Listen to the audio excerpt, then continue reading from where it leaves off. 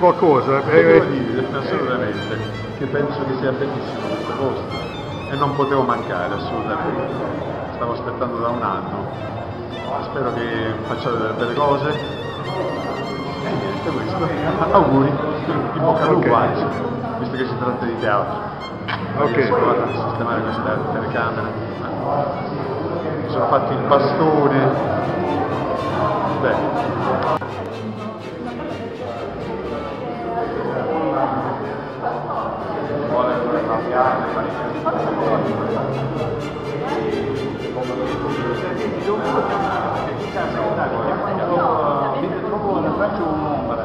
E poi grazie a Dio che ho trovato sabato verrò, proprio venerdì, perché vado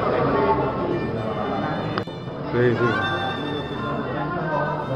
È una dichiarazione, eh?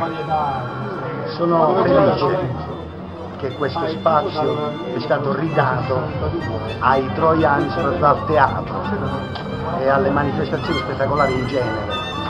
Sono felicissimo perché questo è un posto nel quale spero si possa fare cultura con la C eh,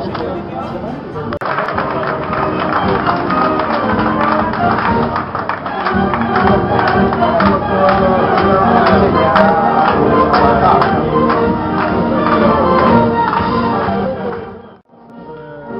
chi la città?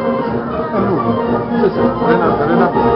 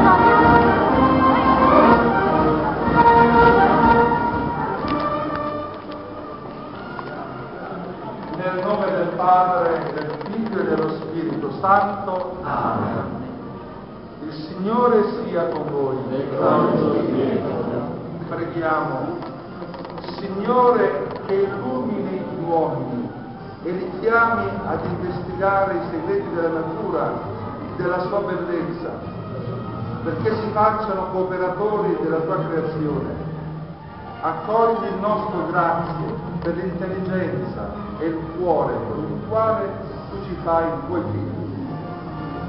Guarda questa struttura, fa che in essa possiamo trovare cultura, carità, giustizia, gioia, fraternità, serenità, perché possiamo sentirci tuoi figli e quindi fratelli.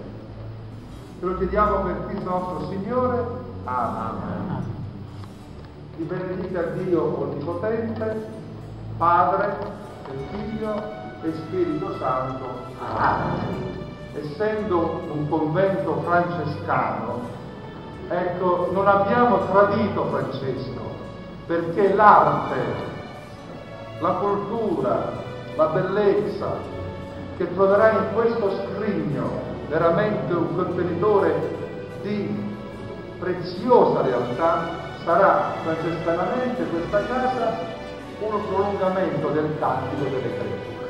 Per la creazione e per noi che siamo espressione di bellezza, di grandezza, perché siamo i figli. Che San Francesco benedica noi tutti perché possiamo essere portatori di pace e di fede. E così sia.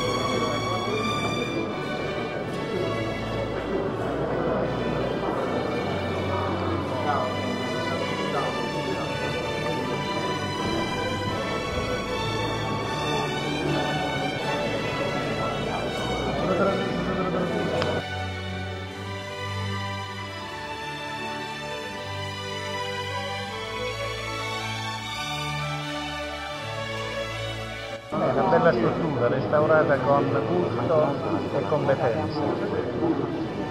Va bene, chiudiamo l'intervista che inizia la, la proiezione.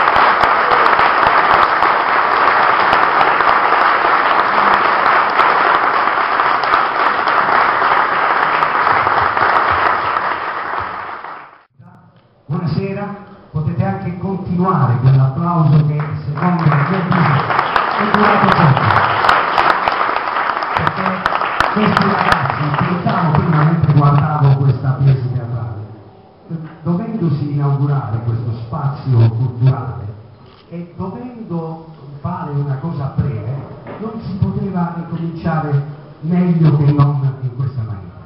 Perché veramente questa è una cosa bellissima, degna di lode, anzi io, e penso anche voi, ne vorrei sapere un po' di più e chiamerei anche per un ulteriore applauso ancora sul palco gli artisti, a partire da Antonella. Ferrera,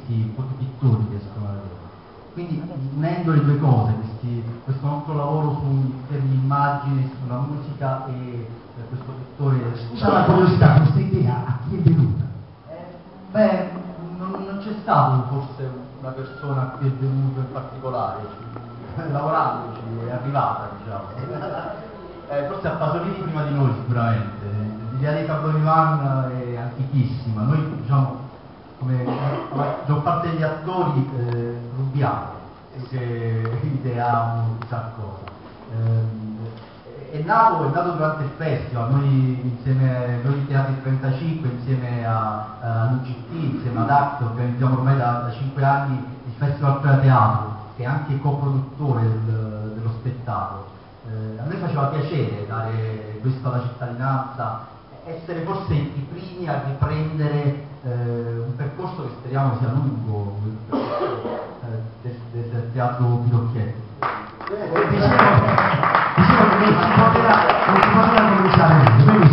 Allora, noi ringraziamo il, il Teatri 35, quindi Francesco De Santis, Antonella Parrella e Gaetano Coccia e eh, applaudiamo ancora questo bellissimo spettacolo, questa pietra teatrale perché ha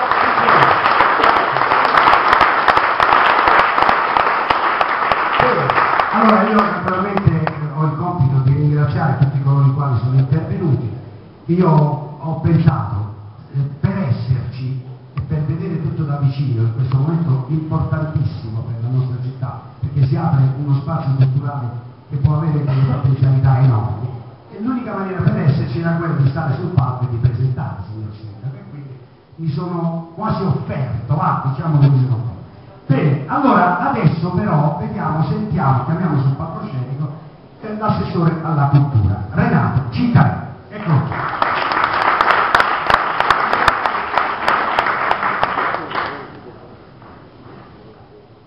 Grazie, io ho preso qualche appunto sperando di non dimenticare nessuno. Intanto grazie a tutti veramente per essere presenti eh, qui questa sera, direi a un nuovo appuntamento con la storia di questa città e sancire insieme un nuovo inizio, una nuova vita per questo luogo, ricco di storia, di emozioni, di vite vissute da diverse generazioni. Saluto gli ospiti presenti, l'assessore Germano Benicasa, il presidente del GAL Meridania, il dottor Alberto Casoria, saluto il vice sindaco Matteo Puttano della città di Troia, nonché il, aspettavamo anche il rappresentante della provincia di Foggia, ma mh, probabilmente impegnato in attività istituzionali. Grazie per aver accettato l'invito in rappresentanza della Regione Puglia, l'assessore al Mediterraneo, Turismo e Cultura, la dottoressa Silvia Godelli. Grazie.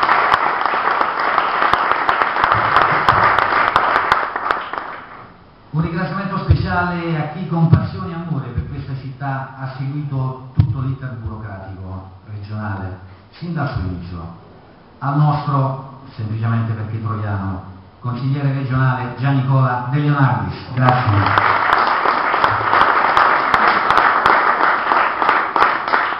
Infine un saluto speciale a chi della cultura è un degno rappresentante, a chi ha fatto e dedica in tutto il suo agire quotidiano tutta l'attenzione possibile per restituire alla città un prestigio storico che gli appartiene, considerando il settore cultura alla pari degli altri, il sindaco della città di Troia, il dottor Edoardo Beccia.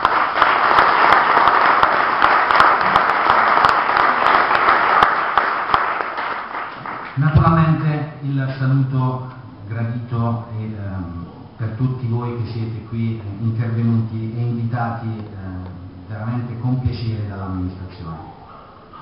Sono trascorsi ormai oltre 40 anni dalle ultime attività rappresentate in questo luogo.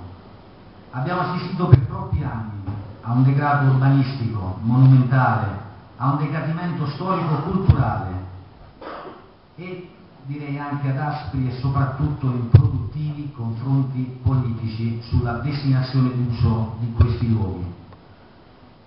Parecchi hanno tifato perché questo complesso cadesse giù, molti però, anche avvolti dalla rassegnazione di non vedere restaurati questi luoghi, ma moltissimi speranzosi di un vero e proprio miracolo.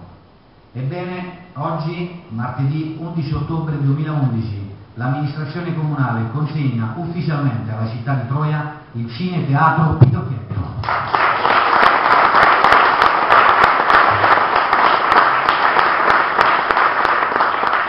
Non è stato sicuramente facile raggiungere questo traguardo, ma abbiamo verificato, verificato che il contributo di ognuno a vario titolo e nel proprio ruolo ha permesso di riconsegnare alla città un luogo dal quale ripartire guardando al futuro con ottimismo.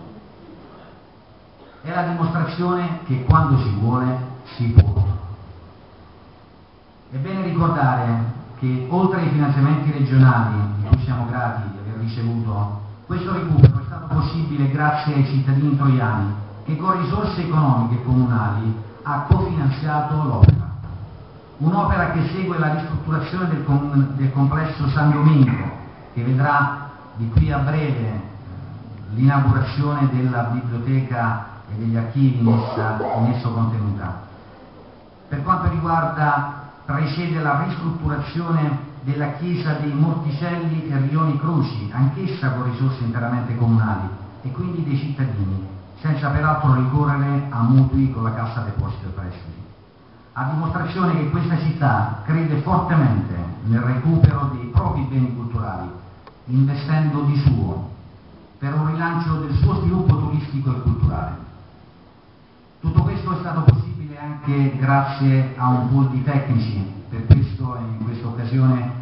Ringrazio formalmente gli architetti Stefano Cibelli e Piero Guadagno, gli ingegneri Giulio Tricarico, Michele Festa e Vincenzo Sgobbo, e le diverse maestranze che hanno operato in questi luoghi, la ditta Salpini per gli interventi strutturali, la ditta Vitale per gli impianti idraulici e di climatizzazione, la ditta Marino per gli impianti elettrici, i quali oltre loro alle loro capacità professionali ci hanno messo anche un bel pezzo di cuore. Il cineteatro Pidocchietto è un contenitore polifunzionale, lo abbiamo concepito in una logica di utilizzo di, mh, per vari scopi. Come sarà possibile proiettare film, teatri, piccoli concerti di musica classica, nonché una sala convegno e conferenze ehm, dotata dei più moderni sistemi audio-video e di tutto quanto necessita per la buona riuscita dell'evento. Grazie, non solo grazie, complimenti al, all'assessore Ciccaretti questi suoi ringraziamenti fatti così bene, in maniera molto agile, molto bella, però hai dimenticato qualcuno.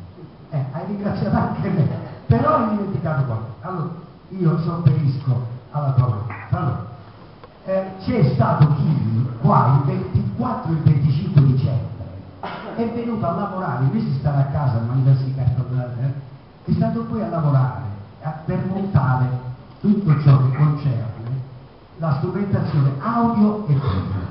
Quindi facciamo un applauso e ringraziamo Antonio Grassi di Agi Music che è qui dietro e per a lui noi iniziamo stasera a comunicare, a parlare e poi successivamente a vedere tutti. Bene, allora eh, io penso che come me tanti sono curiosi. A me piacerebbe sapere, conoscere la storia di questo posto. Penso che molti di voi vorrebbero conoscerla.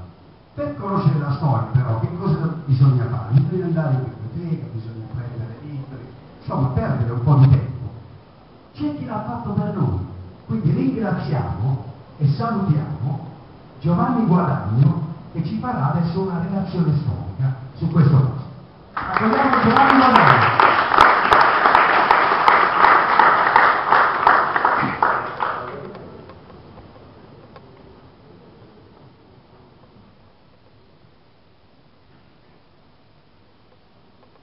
Spero che questa relazione non sia barbosa come d'altronde le relazioni storiche, voglio dire, insomma, siamo costretti a sopportare a volte. Comunque do anche il mio benvenuto alle autorità civili e a tutti voi. Però prima di iniziare voglio ringraziare l'assessore Cittarelli che a nome dell'amministrazione coordinata dal sindaco Edoardo Beccia ha voluto questo mio intervento sulla nascita e via di questo elegante spazio ristrutturato chiamato Pidocchietto. Devo dire subito che c'è stato chi ha apprezzato l'aver conservato il nome dato dalla cultura popolare e chi invece ha arricciato il naso e chi l'ha criticato quasi sbeffeggiando. Poi in una fase storica, locale ben precisa, che veniva dato il nomignolo Pidocchietto, con la costruzione dell'elegante e raffinato cineteatro di Anna, forse uno dei cineteatri più belli della capitanata, con mille posti a sedere, che dal 23 dicembre del 1956 vide sulla ribalta personaggi della canzone e del teatro italiano. Il confronto con questa sala, con quella sala cinematografica, quella di allora, divenne inevitabile perché modesta nelle dimensioni, povera nell'arredo e anche mal tenuta. Sebbene fosse stata ristrutturata verso la metà degli anni 50 del secolo passato su progetto dell'ingegnere Loiacono. I palchetti in legno con la ristrutturazione furono demoliti, vennero sostituiti da palchetti in muratura molto scomodi. Noi ce li ricordiamo chi è che è dalla mia età e anche oltre. Vennero sostituiti da palchetti dicevo, in muratura molto scomodi per l'addizione delle pellicole cinematografiche e degli eventi culturali che si celebravano. Il Pitocchietto comunque fu un conten- contenitore culturale. Questa mia relazione sulla sua storia confesso ha dei limiti perché l'archivio storico del nostro comune è in via di risistemazione. Le fonti de- delle quali vi parlerò fra poco sono state raccolte insieme al dottore Maddalena.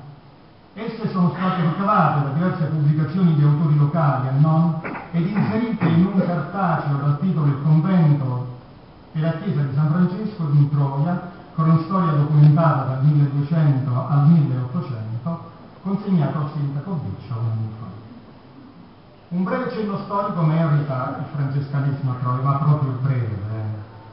Probabilmente sarà giunto a Troia quando era vivente San Francesco, morto, come sapete, nel 1226. Se bisogna dare credito alla notizia tratta dalle pergamene Fusco, che ha parlato di frati lebrosi o, se questi sono là da identificare, con i francescani itineranti o nomadi a Troia di cui parla Giovanni Rubino. Comunque è accertato che già nel 1306 esistevano un convento ed una chiesa nella nostra civitas. Il primo benefattore fu un certo Bernardus Catalano, A Troia si stabilirono nel tempo anche i conventuali, gli zoccolanti osservanti che nel nostro dialetto chiamammo scavazitta e i cappuccini. Solo un altro doveroso accenno, ma proprio accenno, sui conventuali che occuparono l'area del complesso che ci ospita. Il libro di Giovanni Rubino, Ordini religiosi, commenti e badie, ereditaggi e confraternite locali a Troia, ci aiuta a dipanare la storia del complesso francescano di Troia, riporta nella serie o cataloghi delle case monastiche dell'ordine, nel Bullavimo francescanum, Anacleta francescana, eh, francescana Annares minoris del writing e delle tavole tipografiche del Rimini, un po' storia. Nel succedersi però dei secoli, la piccola chiesa e il modesto convento verranno trasformati come oggi li abbiamo sotto gli occhi. Voglio raccontarvi un brevissimo proprio episodio, molto significativo. Vincenzo Bambacini, del quale ho un felicissimo ricordo e che ho stimato come uomo e come studioso della storia della nostra città, nel volume Troia incapitanata scrive nel 1618 i giovani di Troia, con una pubblica manifestazione, impedirono l'ampliamento e la sopraelevazione della chiesa perché non si sarebbe più visto il castello normanno alle, alle spalle. Noi giovani degli anni 60, del secolo scorso, non abbiamo avuto la stessa sensibilità per impedire l'abbattimento del castello di Roberto il Biscardo per far posto a un scolamento. Roberto il Biscardo qui sposò, in quel castello sposò una figlia e mise diciamo, eh, la reggia, eh, la reggia prima di essere spostata a Salerno qui a Troia per pochissimo tempo. Sarà poi sopraelevata quella chiesa di San Francesco nella prima metà del 1700. Nessuna rivolta dei giovani però ci fu. Nel 1809 l'abolizione degli ordini religiosi, adesso veniamo al dunque, ad opera delle leggi murattiane, colpì anche la provincia di Foggia. Furono soppressi gli ordini possidenti conventuali, domenicani e fate bene fratelli qui a Troia. Gli, gli osservanti e i cappuccini, oltre ai monasteri femminili, vennero risparmiati. Con l'acquisizione da parte delle autorità civili dell'ex convento San Francesco nel 1812 si legge nel volume Società e Cinema in capitanata di Cristina Zagaria dell'adattamento di, dell'adattamento di alcuni locali di alcuni locali come la caserma per la gendarmeria, per la guardia civica e una sala, questo è interessante, una sala sarà adattata per le rappresentazioni sceniche. La data, il 1912, è la data di inizio della vita del teatro comunale. La sala per le rappresentazioni probabilmente era il refettorio del convento, opportunamente ristrutturato e poi ancora modificato nel tempo. Intanto da un punto di vista storico, lo dico perché dopo c'è da fare una riflessione. Ci fu il congresso di Vienna, il congresso di Vienna ci fu proprio la restaurazione che identifica la storia della civiltà con la storia delle religioni. Il 27 febbraio 1818, e qui veniamo dunque, Monsignor Michele Palmieri scriveva al l'intendente di Foggia denunciando tra l'altro che siamo, signore intendente, nel cominciamento della Santa Quaresima destinata dalla Santa Chiesa Nostra Madre alla penitenza. Questa si oppone diametralmente alle rappresentanze sceniche teatrali. Eppure ho presentito che si danno le disposizioni per far qui venire una compagnia di commedianti per tenere divertito il pubblico e distrarlo dall'oggetto principale avuto in mira, dalla Chiesa nel prescrivere la Quaresima. Il 15 maggio di due anni dopo, nel 1820, il sindaco Angelo Curato chiedeva all'intendente il permesso di far rappresentare alcuni individui, così venivano chiamati, la commedia di Cerlone, Arsace e Berenice, il giorno della festa dei santi protettori. In un, questa è l'espressione letterale, teatro espressamente fatto in una strada solita. Perché, dice il testo del sindaco, con ciò la gioventù si istruisce ed acquista una certa prontezza di disimpegno. L'uditorio impara a conoscere i vendori e si rende più colpo. Come vedete è in contrasto con quello che il sindaco dice che il, il vescovo diceva due anni prima. Chiaramente erano cambiati. L'anno successivo lo stesso intendente chiedeva al vescovo Palmieri di concedere ad una compagnia comica che aveva fatto a lui regolare richiesta di rappresentare nel teatro, ricordo ancora il termine teatro, per la novena di Natale le opere di Santa Irene, il giudizio di Salomone e la nascita di Gesù Cristo. Il vescovo, sempre rispondeva che a suo giudizio non era dignitoso portare sulle scene di un teatro simili spettacoli, soprattutto avvenimenti riguardanti Gesù Cristo. La Zagaria scrive, nel 1822 è una ricercatrice, eh, nel 1822 sindaco Giuseppe Salandra si riparano i tetti dell'ex convento francescano, si fittarono le botteghe e le cantine annesse e in una sala si ricavò un teatro stabile, quindi vuol dire che allora era instabile proprio, eh, con accesso da via San Francesco. Quindi nel 1822 noi abbiamo l'accesso da via San Francesco, cioè questo accesso.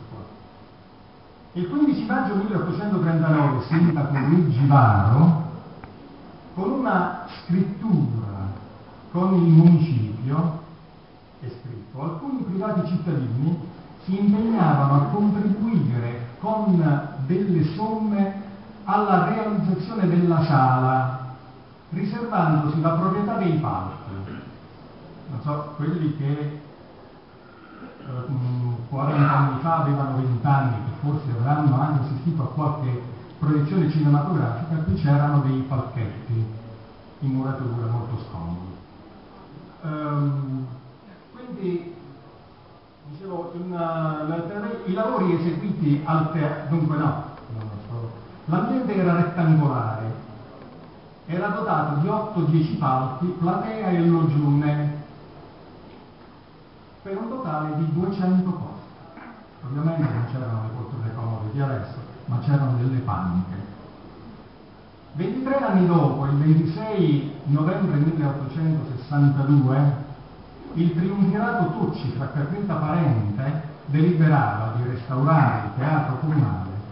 I lavori eseguiti al teatro sotto la direzione dei deputati stessi, cioè non si fidavano degli altri, dei deputati stessi, consistettero in una nuova scena, nel telone nuova, nuovo e gentilmente decorato, nel restauro delle vecchie scene, nell'interno dei palchi a carta e in altre riparazioni.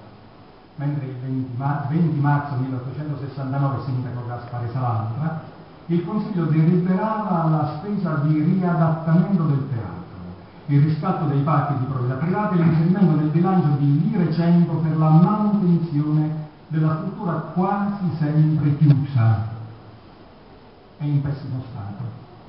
Perché palcoscenico, sipario e tele non, presenta, non presentavano più l'aspetto di teatro, ma di un mucchio di legname e tele infracilite e riso nido di topi.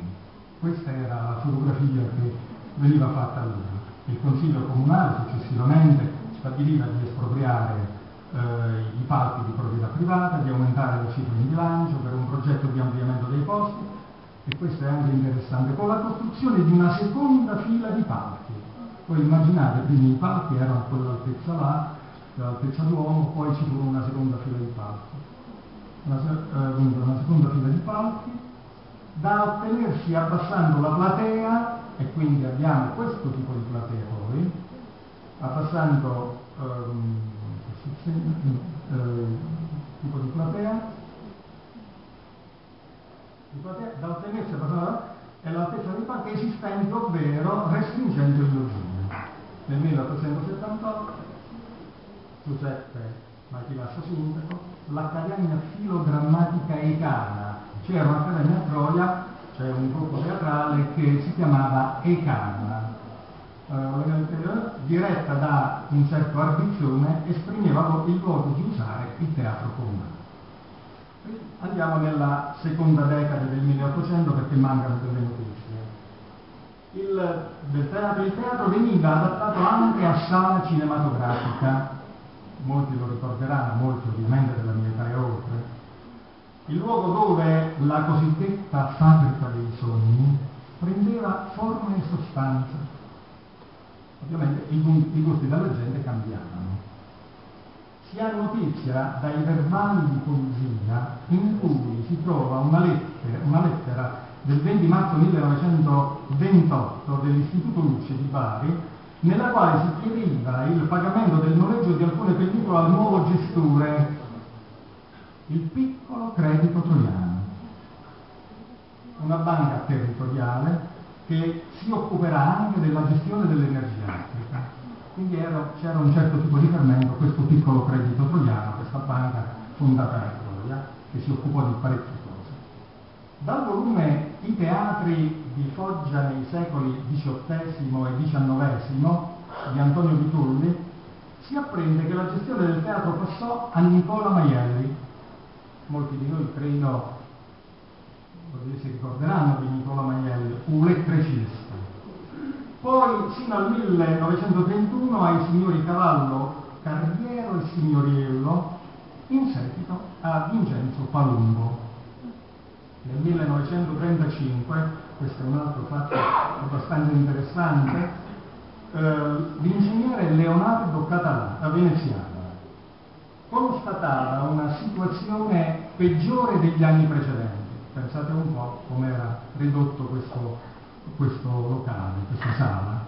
Diceva, il logione è disastrato, i bagni sono rotti o zoppicanti, il pavimento in certi punti non esiste addirittura.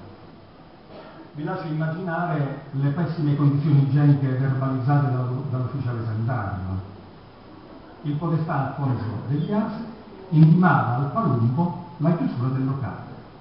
Dal 1935 al 1943 il teatro comunale resterà parzialmente chiuso. Il questore di Foggia inviava al podestà Angelo Curato una lettera nella quale si chiedeva l'adeguamento delle norme per gli spettacoli cinematografici. La gestione era in quel periodo affidata ad Angelo Livorno.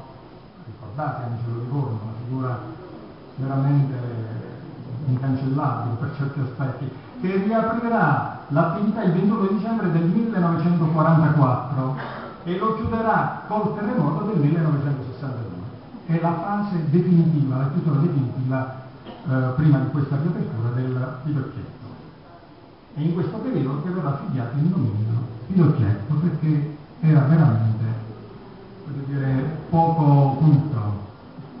Nel 1985 il sindaco Leonardo Alcobelli dava l'incarico all'ingegnere Pompa per destinare il complesso in alloggi. Nel 1985 il Consiglio Comunale, sindaco Do- Domenico Lapella, destinava l'uso del complesso di San Francesco a spazi polivalenti, poi tramontò questa idea.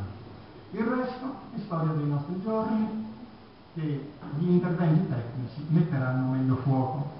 Prima di chiudere però devo ricordare anche la Sala Manzoni, ex chiesa di San Leonardo, che ebbe vita breve concesso dal vescovo ai signori Messina e Merlino per la proiezione di film e soprattutto è da ricordare la figura di Don eh, Luigi Savino, che organizzò nel 1906 nei locali parrocchiali di Sant'Anna l'oratorio festivo del Santissimo Salvatore quando era ancora seminarista Qui, in questo spazio, oggi ristrutturato e polifunzionale, Don Luigi raccolse numerose schiere di ragazzi e giovani, fece allestire diversissime rappresentazioni di teatro popolare, svolse un'azione veramente sociale. Il Pinocchietto stasera riprende ad essere un contenitore culturale e riassume il compito di aggregazione sociale. Questo elegante e grazioso contenitore ha bisogno di essere riempito di contenuti. Anche oggi l'amministrazione civica concorrerà disinteressatamente a rendere vivo l'impegno sociale e culturale dei tanti gruppi associativi presenti nella nostra città, che vorranno riempire di attività mostre, spettacoli digitali, teatrali, proiezioni cinematografiche, cineforum, dibattiti, conferenze, chi più ne ha più ne ha, questo spazio polifunzionale. Grazie.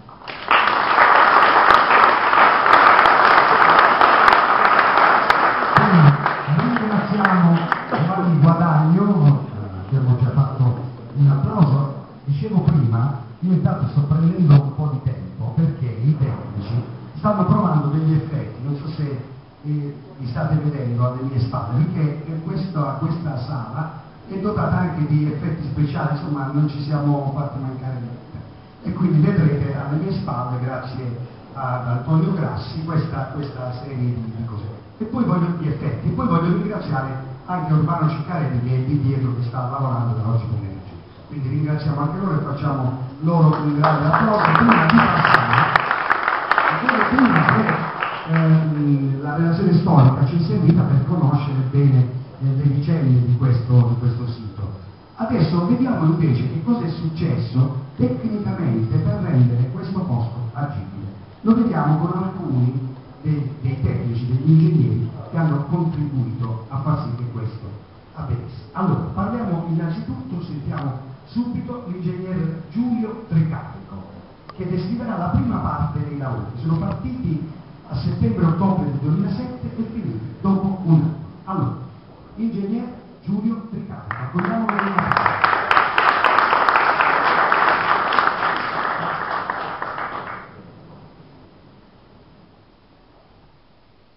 Come diceva Geppo, il mio intervento professionale in collaborazione con gli architetti Stefano Cibelli e Piero Guadagno è stato rivolto essenzialmente a rendere sicuri questi luoghi.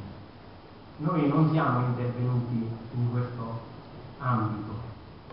Qui verrà poi un altro tecnico a illustrarvi nei particolari di interventi. Noi siamo intervenuti per rendere sicuro questo luogo attraverso una serie di interventi strutturali che riguardano l'intero complesso dell'ex convento di San Francesco. In particolare ci siamo preoccupati di risistemare le coperture che credo che la regia possa ecco, mettere in evidenza erano ridotte in quello stato.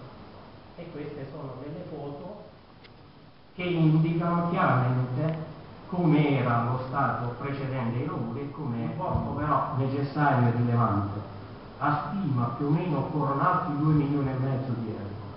E soprattutto secondo me va risolto e affrontato il problema della gestione. Facciamo tante belle cose però farle funzionare costa e se non si pensa realmente e fortemente alla presenza di operatori turistici privati questa struttura, questa struttura come tutte le altre non potranno giammai funzionare come deve. Grazie per l'ascolto e arrivederci.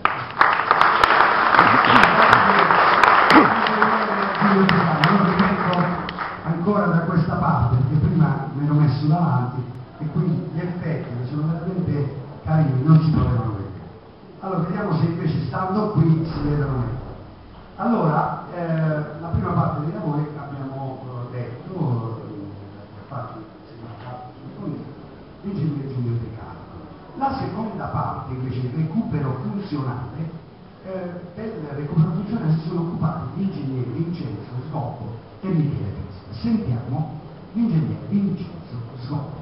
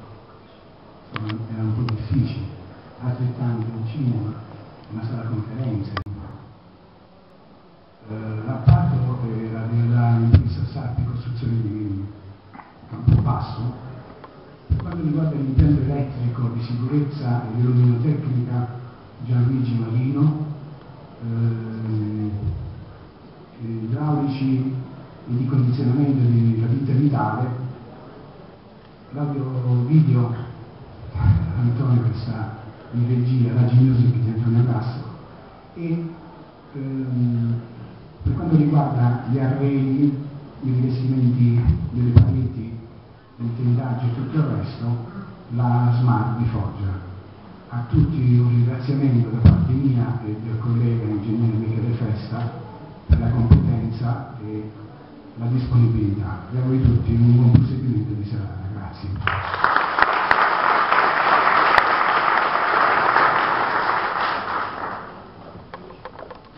Cerco di fare questa uscita non per strappare un altro applauso, ma soltanto per dare tempo ai nostri tecnici di liberare il palco perché adesso ci sarà una sicuramente gratitissima sorpresa. C'è eh, il nostro concittadino, il nostro illustre concittadino, nonostante la sua giovane età. Eh, io chiedo scusa se non sto tenendo il ritmo iniziale, lo faccio solo tecnicamente perché dietro alle mie spalle hanno bisogno di un po' di tempo per sgombrare il campo e per preparare il palcoscenico al prossimo ospite. Si tratta facciamogli veramente un grande applauso perché per noi e io sono onorato di vivere nella stessa città in cui vive lui. Si tratta di Antonio Di Detta. Facciamogli un grande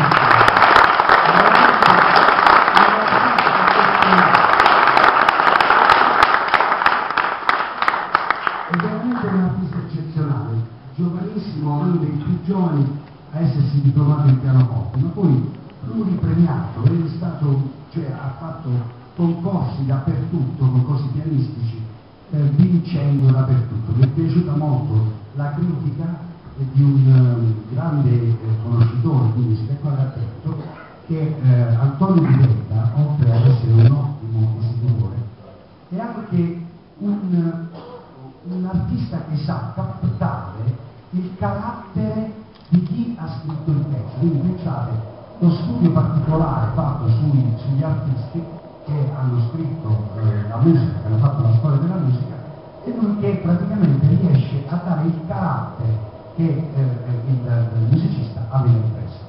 Mi hanno fatto segno, voi non ve ne siete accorti, ma siamo pronti.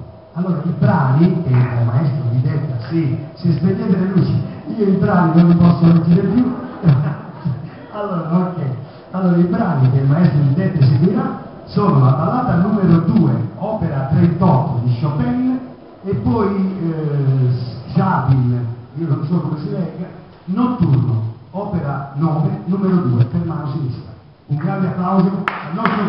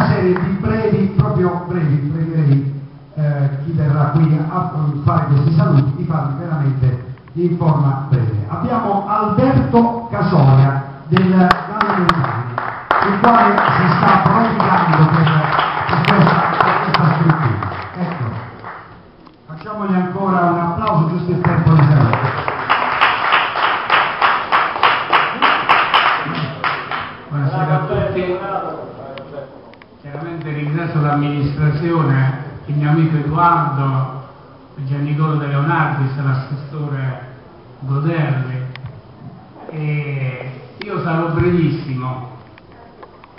Eh, Ho voluto essere qui questa sera perché è importante sapere, conoscere la nostra storia. Io dico sempre che un popolo che non ha storia non ha neanche futuro passato e futuro si intrecciano. Noi abbiamo ascoltato dalle parole di chi è intervenuto di, di Giovanni, dei tecnici, quello che è stato fino a ieri e quello che è stato fatto per riportarlo all- all'antico splendore. Io vi dirò, cercherò di raccontare brevemente quello che noi stiamo pensando di fare. Diceva Edoardo, mi raccomando, facciamo capire a tutti che cosa stiamo facendo. Ebbene, Meridania è l'agenzia di sviluppo che ormai dire, si identifica con i nostri comuni. Voglio ricordare abbiamo altri locali di questo splendido immobile, altri locali che sono da recuperare, altri locali che sono da recuperare all'uso comune. Ebbene noi faremo un investimento importante, parliamo di un milione di euro, a cui si aggiungeranno risorse importanti dell'amministrazione comunale come cofinanziamento. Faremo nascere eh, tutta una serie di cose importanti, cioè noi sappiamo, almeno io vi posso testimoniare che girando in giro, andando in giro per l'Europa, il cibo, il mangiare, l'enogastronomia, tutto è tranne che solo mangiare. L'enogastronomia è la nostra storia, sono le nostre tradizioni, sono i nostri contadini, è la nostra terra. Noi vogliamo portare a noi tutto questo patrimonio, lo vogliamo rinverdire, lo vogliamo rendere fruibile. Quindi verrà a Troia una grande cucina che sarà visibile a tutti, dove si potranno fare scuole del gusto, laboratori del gusto, degustazioni, invitare eh, delegazioni dei paesi eh, appartenenti alla comunità economica europea, ma soprattutto eh, io che sono andato molto spesso nei paesi del Nord Africa, penso a questo grande bacino assessore il Mediterraneo, verso cui noi naturalmente dobbiamo guardare dobbiamo confrontarci. E quando penso a Troia, penso al consorzio di tutela del vino nero di Troia, non posso non immaginare la prima manifestazione che faremo qui, a Dio piacendo, della, eh, della presentazione dei vini del Mediterraneo. Quindi voglio dire, un posto dove ci sarà questa cucina, ci saranno dei locali, recupereremo il chiostro e all'interno del chiostro eh, prepareremo tutta una serie di eventi. Io voglio ricordare che Meridania è capofilo di due progetti importanti, eh, un progetto che si chiama Le, eh, Le locali dell'Europa rurale e l'altro che si chiama I pugliesi. Ebbene, grazie a questo progetto noi abbiamo già realizzato dei workshop in tutta Europa dove abbiamo presentato il cibo e i territori.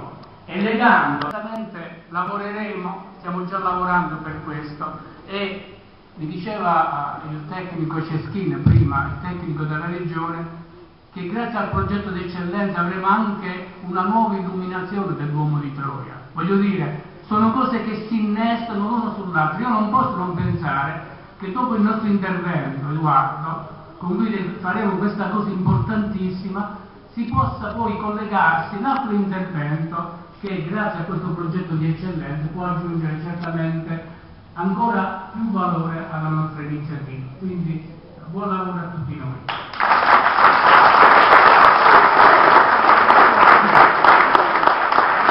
Allora ringraziamo Alberto Casoria e voglio ricordare un po' a tutti che fino a qualche anno fa, fra Corsale e Truglia c'era una grossa rivalità, vedete che bello, questa è una cosa bellissima, un ozzanese che lotta per fare in modo che Troia sia, diventi la capitale del mondo. Facciamogli ancora un applauso. Il consigliere regionale Gian Nicola De Leonardis.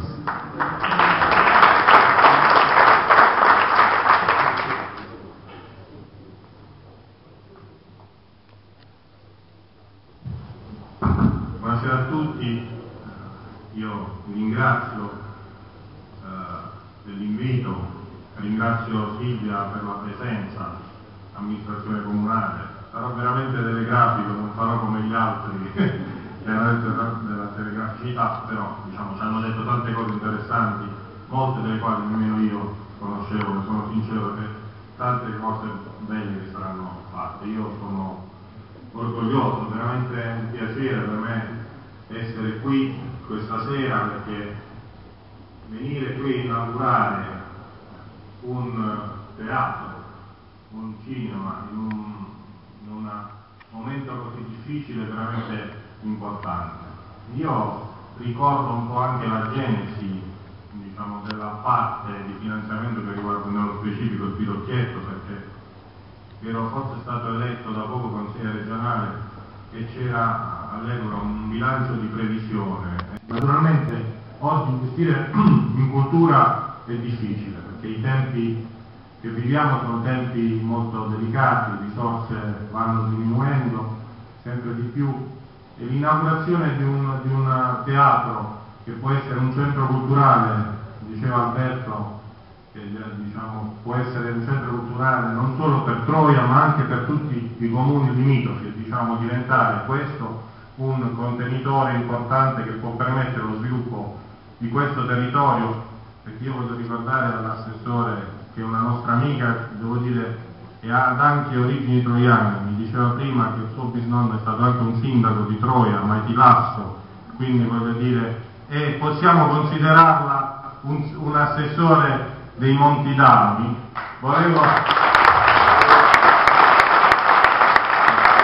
volevo ricordare a me e, e all'assessore Codelli perché se ne faccia carico poi in giunta che noi come regione siamo in obiettivo 1 che sarebbe quelle, quelle zone grazie alle quali dove arrivano risorse importanti dalla, dalla comunità europea, risorse diciamo, che ci permettono di avere contributi a fondo perduto importanti, siamo come regione in obiettivo 1 soprattutto perché ci sono dei territori che sono meno sviluppati come il Subappennino o come la Murgia e quindi è importante che le risorse che arrivano in tutta la Puglia vengano dedicate con particolare attenzione a quei territori a cui dovrebbero andare in misura maggiore proprio perché diciamo, ci sono dei gap, dei gap importanti da recuperare. E cercheremo quindi di capire o di far capire quello che noi facciamo a Bari che è un lavoro comunque faticoso, impegnativo e che richiede molta molta attenzione. Quindi io con vero, vero orgoglio, con vero piacere sono qui assieme a tutti loro a inaugurare questo, questo teatro e vi ringrazio ancora della presenza e dell'invito. Grazie mi ha rubato una sorpresina che avevo conservato per quando avevo chiamato l'assessore Loretti. Vabbè, eh, me, l'ha, rubata, vabbè, poi magari quando la chiameremo lo, faremo dire anche a lei in maniera più dettagliata. Adesso è nuovo, il primo cittadino della città di Torino.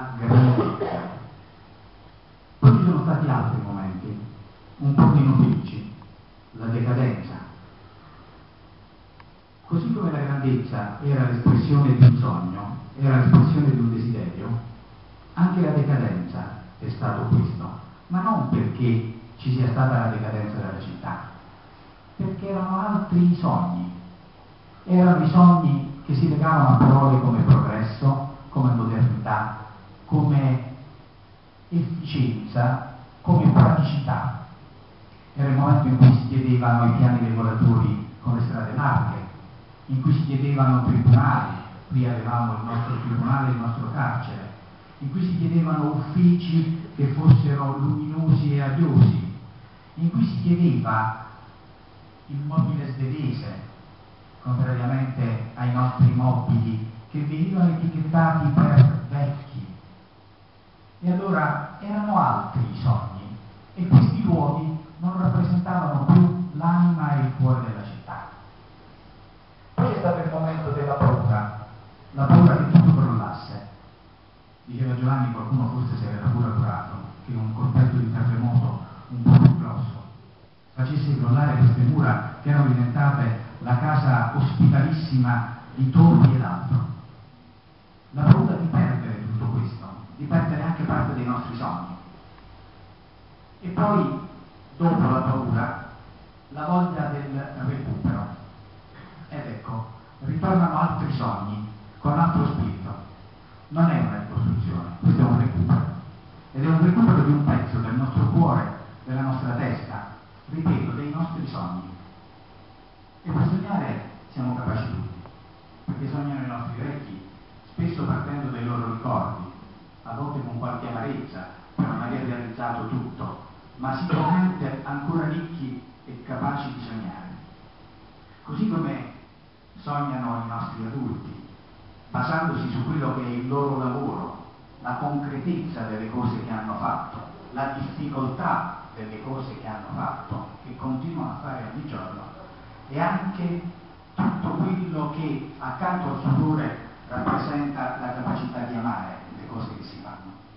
Così come sognano i nostri giovani, i quali liberi dai ricordi, perché non ne hanno ancora maturati tanti, neanche liberi dal peso che ancora a terra con il lavoro, sono capaci di apprendere i loro sogni alle stelle, come dicevano i poeti, o ai palloncini, in maniera che quando il Padre Eterno accende la luce del cielo, i loro sogni inondano la terra e la fruttificano, oppure quando il vento soffia, qui a Troia lo vediamo, i palloncini vanno in giro per il mondo e diventano veramente i sogni che sono il sale del mondo, perché sono quelli che poi alla fine fruttificano tutto e tutti.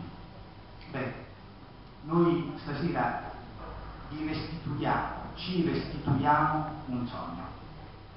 Pensiamo di aver fatto il nostro dovere. È vero che eh, quando penso al concetto del dovere mi ricordo sempre la frase di mio padre, quando tornavamo dai colloqui a scuola e io andavo bene a scuola, quindi pensavo di avere sempre un premio, mi diceva bravo, però ricordati che hai fatto solo metà del tuo dovere. Allora noi siamo convinti di aver fatto il nostro dovere, ma siamo convinti che ne abbiamo fatto solo metà, ne dobbiamo fare ancora tantissimo.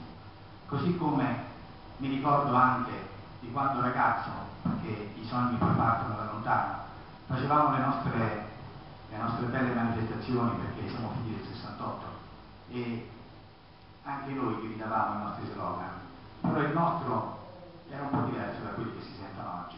Noi rubavamo una frase bellissima che diceva a Iere Deriva, beh, noi continuiamo ad avere questi sogni.